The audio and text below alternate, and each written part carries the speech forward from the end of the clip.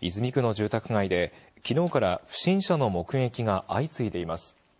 近くの小学校では一斉下校するなどの対応をとっています。警察によりますと昨日午後4時20分ごろ泉区寺岡2丁目の路上で小学生の女の子が男とすれ違った際ポケットから果物ナイフのようなものが見えたと子供から相談を受けた親が警察に通報しました。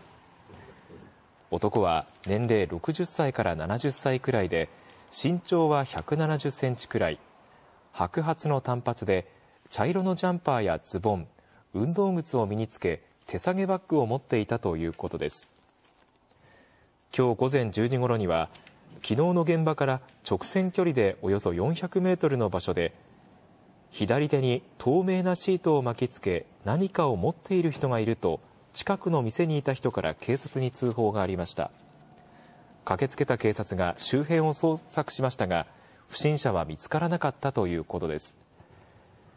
近くの小学校では職員が見守る中学年ごとに一斉下校の対応が取られました。警察は周辺のパトロールを強化するなど警戒を続けています。